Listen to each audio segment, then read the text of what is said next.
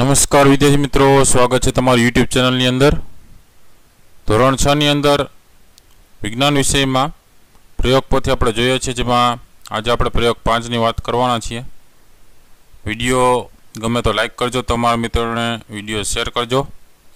અલગ અલગ પ્રશ્નો જવાબ આમાં પણ નાના હોય છે, તો એવા અલગ અલગ પ્રશ્નો પણ તૈયારી કરતા રહેજો. અગાઉ ન જોયેલા વિડીયોઝ ધોરણ છના ઘણા બધા મુકાઈ ગયા છે. ન જોયો તો જોઈ લેજો. ઉપર વીડિયો સેક્શનમાં છે. એની બાજુમાં પ્લેલિસ્ટ છે.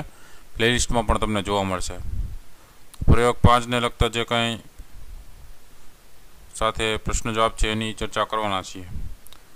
તો પહેલાં હેતુ જોઈએ. વનસ્પતિનું પ્રકાંડ, એટલે કે સ્ટેમ, પાણી અને ખનિજ સારો એટલે કે મિનરલ્સના દ્રાવણનું વહન કરે છે તે સાબિત કરવાનું છે.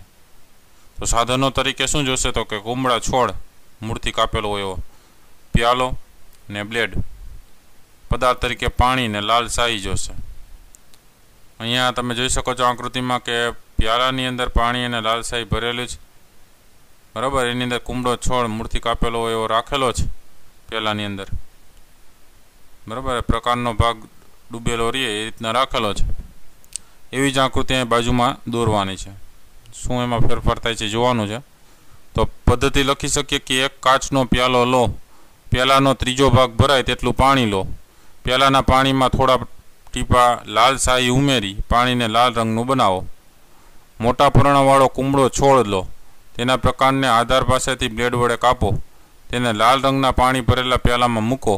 બીજા દિવસે છોડના પ્રકાંડ અને શાખાઓનું અવલોકન કરો. આ પરથી સો નિર્ણય તારવશો તો એનું અવલોકન આપણે લખી શકીએ કે છોડનું પ્રકાંડ અને શાખાઓ છે એ કેવા રંગની થાય તો કે લાલ રંગની બને છે. શું કામ એને? તો કે એની અંદર લાલ શાહી ઉમેરી હતી પાણીની અંદર. એટલે એ શાહી છે પ્રકાંડ દ્વારા ક્યાં જઈ? તો કે પ્રકાંડ દ્વારા એ આખા છોડની અંદર ગઈ.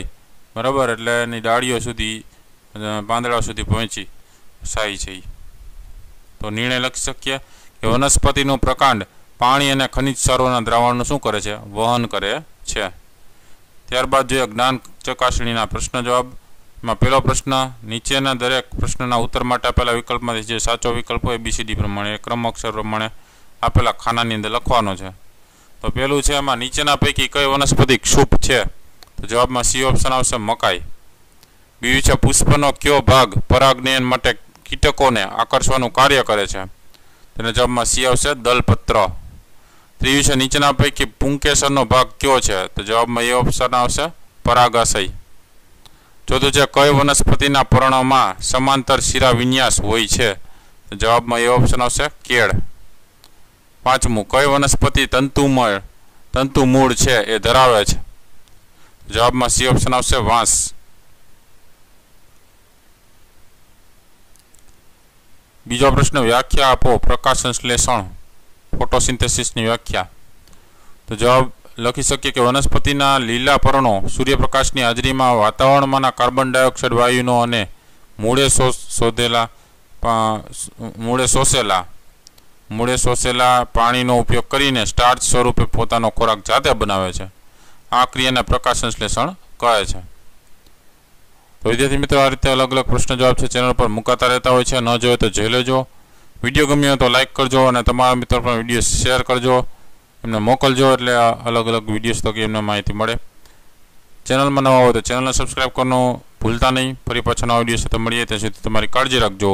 Thank you very much and take care